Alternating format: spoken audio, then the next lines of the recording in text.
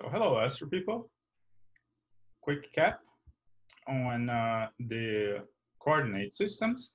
Let's go through the ecliptic coordinate system. So the ecliptic, as we discussed before, is the apparent path of the sun in the sky. It's essentially the projection on the celestial sphere of the orbit of the Earth. Here you are seeing the celestial sphere, the celestial equator in blue, and the ecliptic in orange. So why is it that we would like to define ecliptic coordinate systems if we already have the equatorial system? This is a simple change of coordinates so that the path of the sun, which would be up and down in declination, becomes a uniform motion in the ecliptic. The sun simply does not change one of its coordinates. So the coordinates that we're going to use in the ecliptic are the ecliptic longitude and ecliptic latitude, right? So the sun, over the course of the year, does not change its ecliptic latitude. By definition, the sun is at the ecliptic.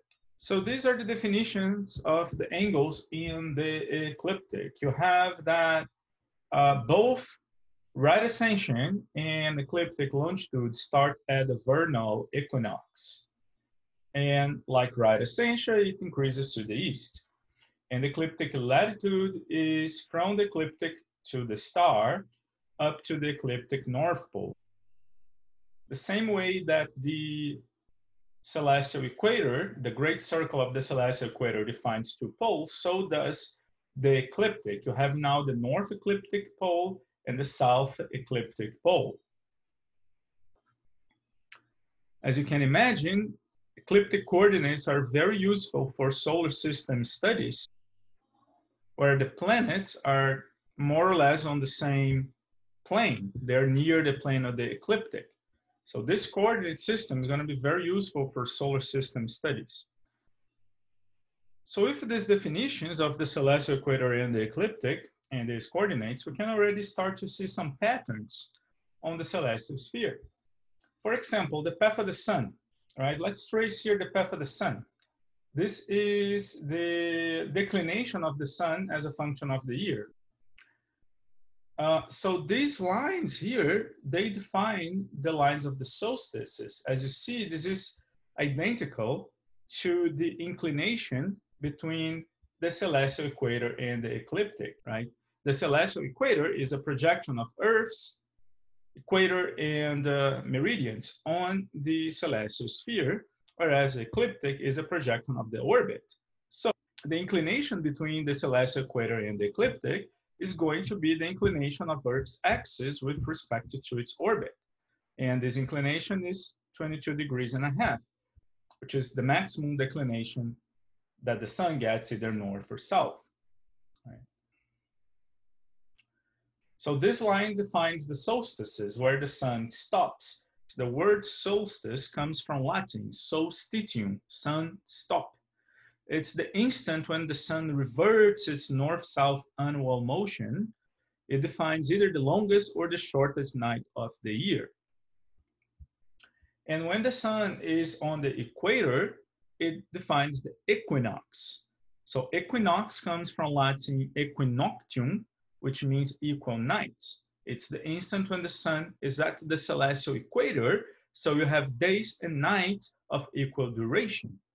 Notice that I did not put the seasons here because they depend on the hemisphere.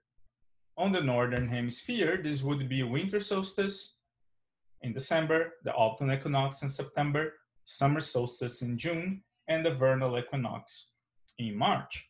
Of course, in the southern hemisphere, it's the opposite. In June, you have the winter solstice. In December, you have the summer solstice. Spring equinoxes in September, and autumn equinoxes in March question that appeared again in Cume. At midnight on November 12, one of the four target fields lay overhead the Las Campanas. What is its right ascension and its declination? there is an information here that the latitude of Las Campanas is about 29 degrees south. It's in Chile. So to answer this, you simply need to recall that the latitude of the place is the angle between the celestial equator and the zenith. And because the uh, diurnal motion is parallel to the celestial equator, a star that passes by the zenith has declination equal to the latitude of the place. And of these four options here, the only one that is close enough to the latitude of the place is Chandra Deep South. Hubble Deep Field South would be declination minus 60 would be overhead if you were in Antarctica. These two here would be if you're close to the equator, that's when you would see them passing overhead. Therefore, we are left with the Chandra Deep Field South as the correct answer.